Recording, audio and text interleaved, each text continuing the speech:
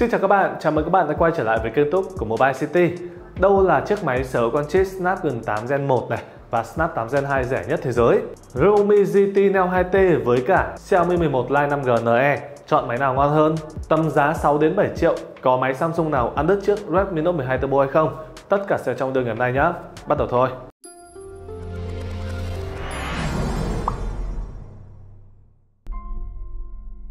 Chúng ta sẽ đến với câu hỏi đầu tiên của bạn Cường Trần. Cho em hỏi, hiện tại máy có chip Snap 8 Gen 1 và 8 Gen 2 rẻ nhất là máy nào vậy ạ? Ok, thì với con chip Snap 8 Gen 1 rẻ nhất theo mình sẽ là chiếc Redmi K50 Gaming. Hiện tại chỉ còn máy cũ nha, loanh quanh khoảng 6 triệu, thậm chí nhiều bạn sẽ bán khoảng 5 triệu 9. Còn với con chip Snapdragon 8 Gen 2 thì rẻ nhất máy mới sẽ là chiếc Redmi K60 Pro. Bây giờ loanh quanh khoảng 10 triệu đúng không? Rồi, với chiếc Redmi K50 Gaming thì bạn lưu ý giúp mình nhé. Tuy là Snap 8 Gen 1 nhưng mà máy bị bóp khá là mạnh tay. Đó. Ngày xưa chiếc Redmi K50 Gaming thì cũng rất nổi tiếng mà. Mang tiếng là gaming phone nhưng mà chiến game ấy thua cả những máy phổ thông. Chính vì vậy, với chiếc máy này thì à, các bạn chơi game tầm trung đổ xuống thôi, chứ còn kể cả Snap 8 Gen 1 nhá. Nhưng mà khi các bạn chơi game nặng ấy, máy rất nóng, tụt giảm hiệu năng rất là nhiều. Trừ khi các bạn xác định mua máy về để mà chơi game gắn sò ấy thì lại ok, tại vì khi đó ấy, nhiệt độ không nóng thì Snap 8 Gen 1 rất mạnh trong tầm giá. Ngoài ra thì với chiếc Redmi K50 Gaming, ngoại hình của máy rất chất đúng không? Khung kim loại này, hai mặt kính rất là ngầu luôn, có cả hai phím trigger vật lý chơi game bắn súng sướng này. bốn loa chất âm rất tốt và sạc thì 120W siêu nhanh. Tuy nhiên màn hình của máy nhá, gần như giống hệt so với cả chiếc Redmi K40 Gaming, tăng chút độ sáng thôi. Và cảm giác cầm nắm thì à, không được đầm chắc bằng so với cả chiếc Redmi K40 Gaming. Rồi, còn chiếc Redmi K60 Pro thì sao? Đây là một chiếc máy thực dụng khá toàn diện trong tầm giá khoảng 10 triệu nha.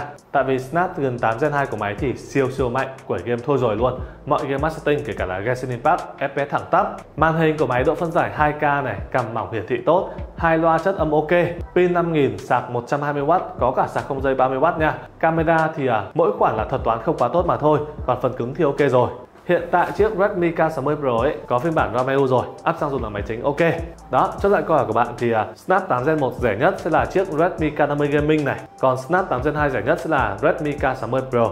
Chuyển sang câu hỏi thứ hai của bạn Tùng Ngô. Realme GT Neo 2T và 11 Lite 5G NE thì nên mua máy nào ạ? Cảm ơn anh. Ok, về ngoại hình thì mình không xét tới nha, tại vì tùy quan điểm mỗi người mà. Nhưng mà chiếc Xiaomi 11 Lite 5G NE sẽ có khả nước IP53, đó, dùng nó sẽ yên tâm hơn. Màn hình thì có vẻ chiếc Realme đang nhỉnh hơn nha, tại vì độ sáng cao hơn này, cộng với cả 120Hz, trong khi em Xiaomi sẽ chỉ là 90Hz mà thôi. Cả hai đều sẽ có hai loa stereo chất âm khá tương đồng nhưng mà chiếc Realme sẽ có thêm cả jack tai nghe 3,5mm nha. Về con chip thì uh, Snap 778G của chiếc Xiaomi ấy, nó sẽ khá mạnh nhưng mà vẫn kém hơn so với cả chiếc Rumi Dimensity 1200 AI chắc phải tranh nhau khoảng 20% đó tại vì uh, Snap 778 ấy nó sẽ chỉ ngang với cả Snap 855 mà thôi. Còn Dimensity 1200 AI nó sẽ phải gần sấp xỉ bằng so với cả Snap 865 về camera thì à, hai chiếc máy đều chụp rất ok trong tầm giá nhá Nhưng mình sẽ thích chất ảnh của Realme hơn. Đó, tươi sáng trong trẻo hơn. Xiaomi thì à, vẫn hơi tối một chút. Về pin sạc thì rõ ràng chiếc Realme hơn hẳn rồi. 4.500 đi kèm với cả sạc 65W còn chiếc 11 Lite 5G NE thì à, sẽ chỉ là 4200 này đi kèm với cả sạc 33W. Nhưng mà cái khoản pin ấy thực tế sử dụng thì à, mình thấy em Xiaomi trâu hơn. Đó, pin 4200 thôi nhưng mà dùng on screen 6 7 tiếng thoải mái. Về phần mềm thì sao? Em Xiaomi thì à, sẵn tiếng Việt này, ít bị chế thông báo hơn so với cả Realme. Neo 2T thì rất tiếc, chưa có phiên bản RAM quốc tế nha, vậy nên bị thêm cả phụ đa nhiệm kém nữa. Chốt lại, nếu các bạn cần một chiếc máy dùng để giải trí này, không cần thông báo chuẩn chỉ thì à, chọn chiếc Neo 2T, cấu hình sẽ cao hơn. Nhưng mà dùng làm máy chính thì à, đó, chọn Xiaomi nhá. Chuyển sang câu hỏi thứ ba của bạn Việt Hoàng. Anh ơi, có Samsung nào tầm 6-7 triệu ăn đứt Redmi Note 12 Turbo không ạ? Ok, có nhưng mà đứt về khoảng màn hình này, camera hoặc là phần mềm thông báo thôi chứ còn về hiệu năng thì à, rất khó nha. Trong tầm giá khoảng 7 triệu ấy, Redmi Note 12 Turbo với cả Realme GT 55 SE đang là trùng phân khúc.